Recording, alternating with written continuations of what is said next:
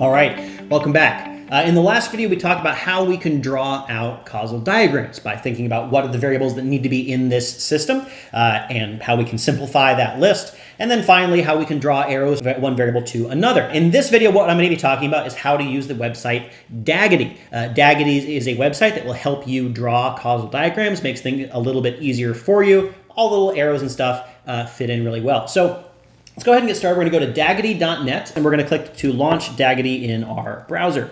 This is going to take us to the actual system itself. So what we have here, we have our variables. So here's a variable A, for example. We have uh, some variables here uh, with arrows between them, right? We have an arrow from A going to Z, from B going to Z, and so on. What else do we have? Over here on the left, we have a bunch of options about how we can draw the variables and also a little legend telling us about the color here. So this tells us, for example, that variable with the little play button on it, that's our exposure or treatment variable. Uh, we have a variable with a little eye on it, that is our outcome variable. We have green variables, we have blue variables, that you don't have to worry too much about this stuff. One thing you will notice is that some of the times we will get colors on our variables. And what this tells us is that we, a red variable that's standing in the way of our identification, you might want to control for that. We'll get to that later. We also have grayed out variables. These are what we would think of as unobserved uh, variables typically where we we know that they're important to our system, but we can't actually measure them. And these, there's actually a lot of these kinds of variables in social science. Uh, so, for example, if you're interested in the effect of education on earnings, as we talked about before, one thing that would affect both education and earnings is, let's say, your stick to itiveness, right? And your grit. And a lot of times in our data, we don't have that measure. Uh, sometimes we can't possibly have that measure. It's something that might be unmeasurable. And so it might be important, but we can't measure it. It still goes on the causal diagram. So let's figure out how we can make our own causal diagram. I'm going to go for new model. In model, new model, it's going to ask me for what my name of my exposure variable is. I'm going to call that x. And the outcome variable, I'm going to call that y. And it's going to start out with an arrow from x to y. Because pretty much if we didn't think there was an arrow there, what would be the point of drawing the causal diagram in most cases, although some, sometimes you don't want it. So how can we add new variables to this? We just have to double click on the blank space. We can add a new variable, let's say W. Uh, we can draw arrows from one variable to another by double clicking on the source variable and then also double clicking on the target variable. Um, do that for both X and for Y here. And so you can see that automatically turn W red, telling us that that is going to be a problem for our causal identification, uh, that we might want to control for that in some way.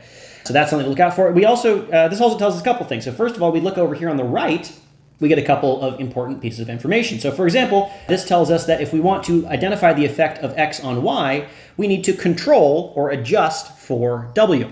Uh, and again, we'll be getting to that, what that actually means later, but this is telling us the list of what we're going to be interested in. There's some other stuff up here as well. We're not going to be doing direct effects a whole lot in our class, but sometimes, for example, uh, x might have an effect through some other variable. Let's say we have z here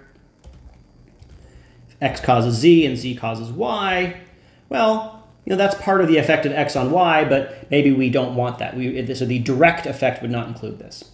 We can also look for instrumental variables, which we'll talk about much later. Also over here on the right, we have what are called the testable implications of the model. When you draw a causal diagram, it doesn't just tell you how you can identify the effect of x on y, it also tells you some other things that your model implies. So for example, you'll notice here that the only way to get from w to z is going through x.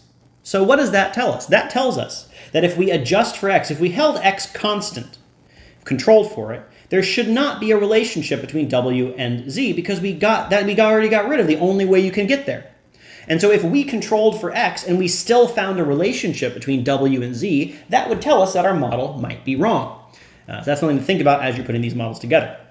Let's get back to working with Dagitty. We can add a bunch of variables. We can draw arrows between them. There's other stuff that we can do. If you hold the control button and then you drag an arrow around, you can make it curvy, which might help if you have a really complex uh, variable. You can also drag the variable around itself and it will move similarly.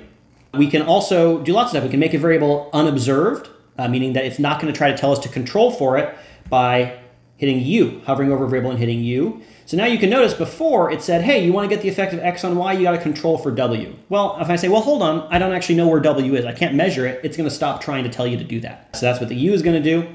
So we can also, for example, delete variables with d.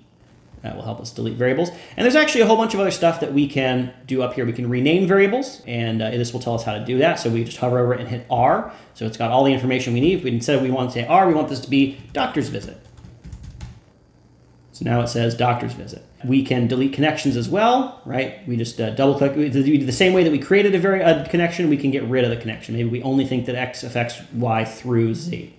That's the basics of it. Uh, that's how we can use Dagitty to create a causal diagram. We can also use Dagitty for it to tell us how to solve that causal diagram. It can tell us what we need to adjust for, which we'll get more into in the next video. All right, that's it. Hopefully uh, you can play around with this some, try to write down some models uh, that you might be interested in, uh, do a little bit of practice on creating some causal diagrams. Thank you.